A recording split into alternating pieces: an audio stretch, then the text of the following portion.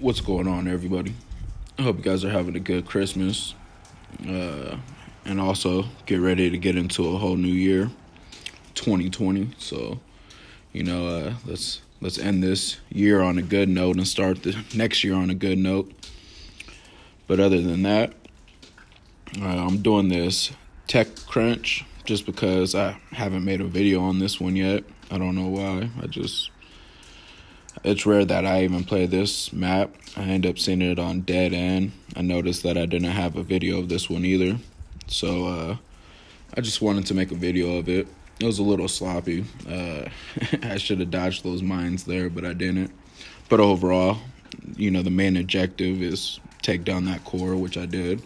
It's a 5.7 million uh, health in total with the shield and the core. And also, um, you know, I see some people just always walking that wall, the left side of the wall all the time. um, you know, I notice some people just trying to set it up, not even trying to go for a solo. They just do a setup for the next person. Uh, it is very easy to solo.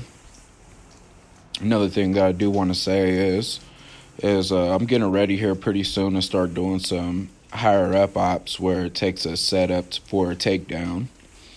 and I'll be doing that on multiple accounts to show you guys uh, a couple different setups, a couple different routes I like to do uh, as far as takedowns. Uh, one that I kind of like taking down a lot is Fang.